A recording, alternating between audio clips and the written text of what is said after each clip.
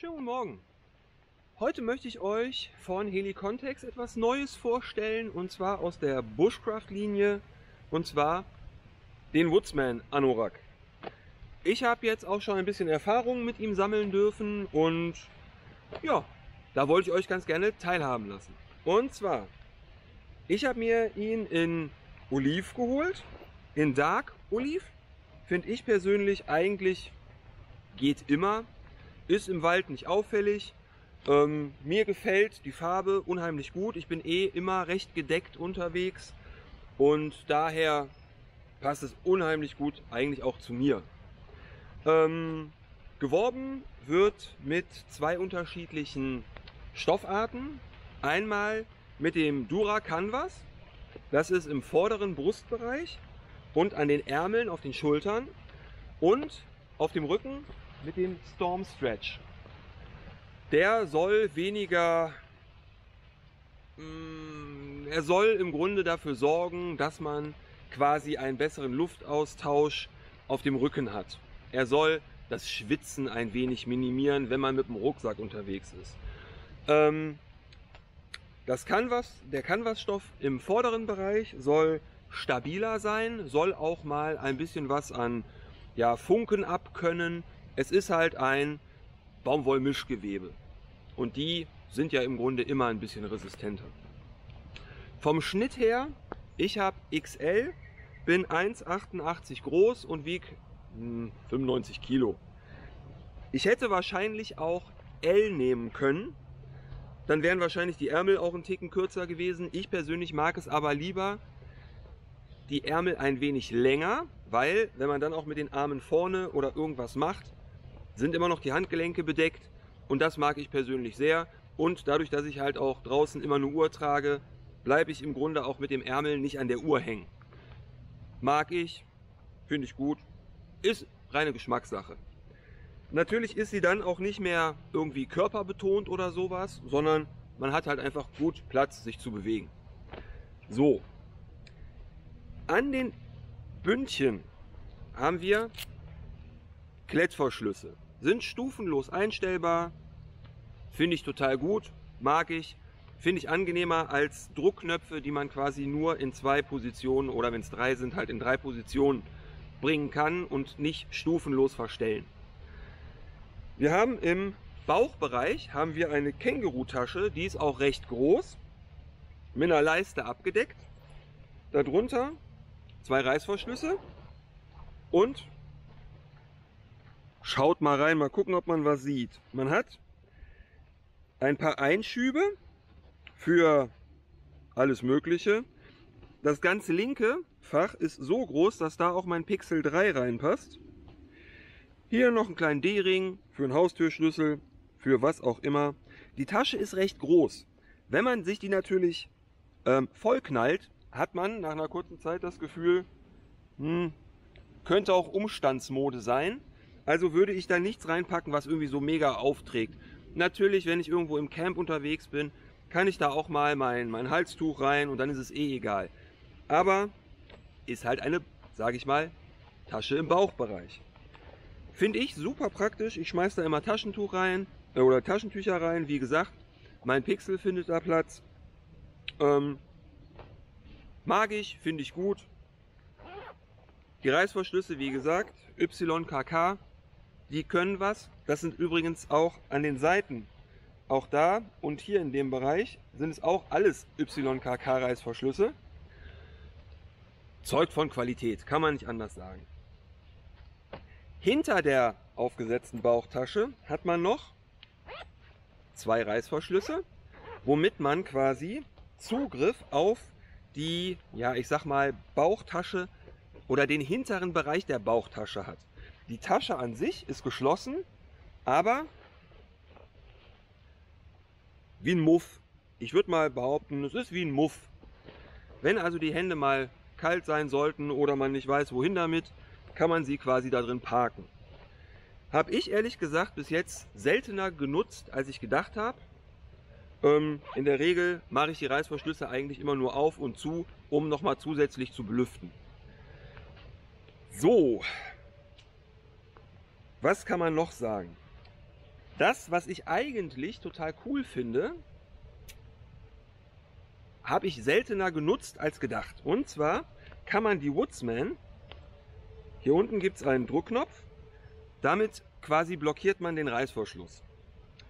Diesen Reißverschluss kann man bis in die Achsel öffnen,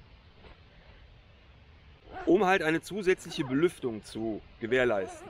Das hat man auf beiden Seiten. Auch da wieder bis, zum, bis zur Achsel. Es ist ein Zwei-Wege-Reißverschluss, sprich man kann nicht nur von unten nach oben öffnen, sondern man könnte auch im Grunde die Achselpartie freilegen, um dann auch da nochmal zusätzlich belüften zu können.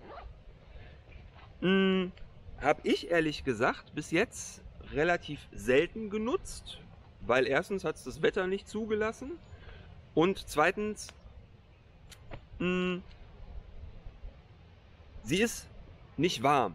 Also es ist im Grunde, ein Anorak soll ja eigentlich eine winddichte Jacke sein mit einer Kapuze. Also das sagt zumindest äh, Google dazu. Das heißt, von der Jacke selber geht relativ wenig Wärme aus. Dadurch, dass wir jetzt Sommer haben, einen sehr bescheidenen Sommer, habe ich nie wirklich Wärme empfunden. Auch als ich jetzt ähm, im Siebengebirge war, da habe ich sie das erste Mal wirklich auch ein bisschen intensiver getragen als nur zu Hause auf der Straße und beim Einkauf. Und da Siebengebirge geht Berg hoch, Berg runter. Ähm, geschwitzt habe ich natürlich. Da haben aber im Grunde die Reißverschlüsse auch wenig gerettet. Auch im Rückenbereich der Storm Stretch ist ein bisschen gummiartiger, dieser Stoff. Aber gummiartig ist falsch. Er ist, er fühlt sich mehr als, als ein Kunstgewebe an. Ist auch ein bisschen, ähm, hat auch eine, eine, eine gewisse Elastizität. Soll dazu führen, dass man auf dem Rücken weniger schwitzt. Also für den Wärmeaustausch. Wenn ich einen Rucksack auf dem Rücken habe, ab einem gewissen, ähm, ja, ab einer gewissen Entfernung, ab einer gewissen Anstrengung, ab, einer gewissen, ab einem gewissen Gewicht, der schwitze ich auf dem Rücken. Ob das jetzt unter einer anderen Jacke anders gewesen wäre, ich habe keinen signifikanten Unterschied gespürt und daher, nee.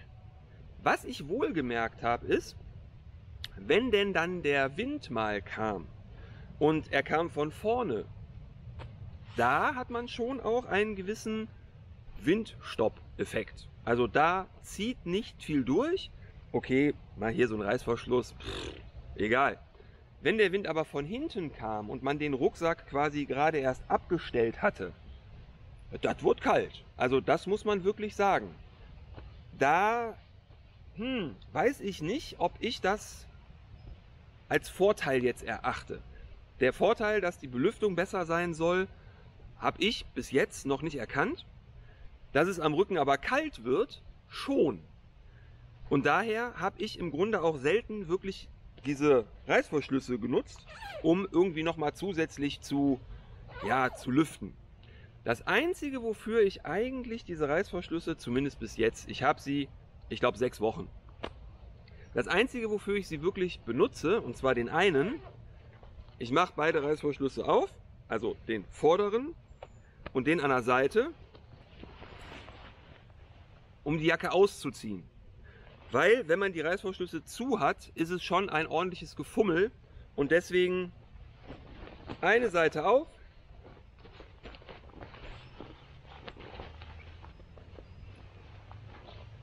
Dann hat man nämlich auch den Vorteil, dass wenn man sich anzieht, sieht man einfach an der einen Seite Reißverschluss zu, Fertig. Weil ansonsten hat man nämlich ganz häufig diesen Storm Stretch Stoff, der ja nun sehr elastisch, ich sag mal, der ist schon elastisch und ist halt von der Struktur her sehr, sehr weich, hat man den immer im oberen Bereich des Rückens hängen und fummelt sich dann da einen Ast.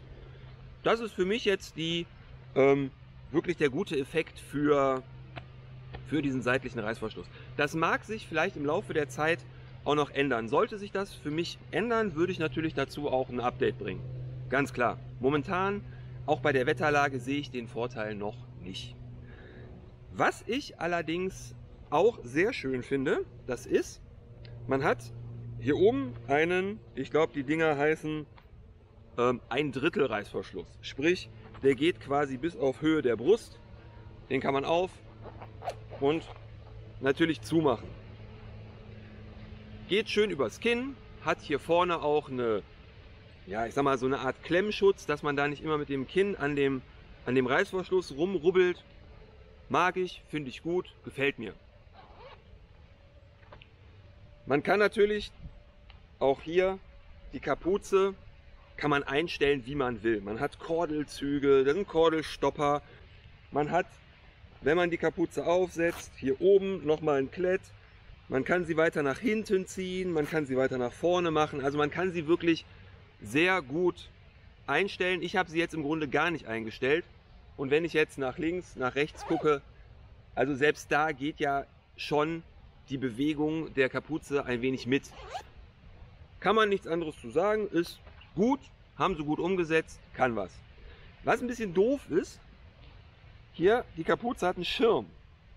Und dieser Schirm, ich weiß nicht, irgendwie habe ich das Talent, ich habe diesen Schirm eigentlich ganz häufig im Nacken. Gerade wenn man jetzt den Reißverschluss ein bisschen zuzieht, irgendwie. Hm, hm. Und da ich jetzt ja persönlich auch nicht der Fan von Kapuzen bin, meh, okay, kann man so machen. Gibt es bestimmt auch ganz viele Leute, die das gut finden oder die das Problem einfach nicht haben. Auch das ist ja möglich. Vielleicht bin ich da so ein bisschen Unikum. Nicht schlimm. Soll aber auch im Grunde ein winzig kleiner Kritikpunkt sein, wenn man mal das Verhältnis zwischen Preis und Leistung sieht. Wie gesagt, es ist alles immer ein kleines bisschen Kritik auf einem recht hohen Niveau. Das Einzige, wo ich, ja, was ich schon ein bisschen schade finde und was ich auch euch als Tipp mitgeben kann, obwohl Oliv eine richtig coole Farbe ist. Das habe ich bis jetzt auch ehrlich gesagt nur bei, bei diesem Anorak gehabt. Und zwar hat sich beim Tragen meines Rucksackes mit dem, ja, mit dem ähm, Hüftgurt, ich weiß nicht, ob es durchkommt, es hat sich hier so ein bisschen aufgeraut. Da gab es anscheinend irgendeine Druckstelle von, von der Koppel zum Gürtel oder zur Hose und da hat sich sehr, sehr schnell halt das Oliv verabschiedet ja, ist jetzt halt Used Look. Natürlich ist es ein Gebrauchsgegenstand, natürlich werden die Sachen irgendwie leiden, aber es ist eine sechs Wochen alte Jacke, einmal mit einem Hüftgurt unterwegs gewesen und schon hat sich da eine Druckstelle gezeigt. Mag Zufall sein.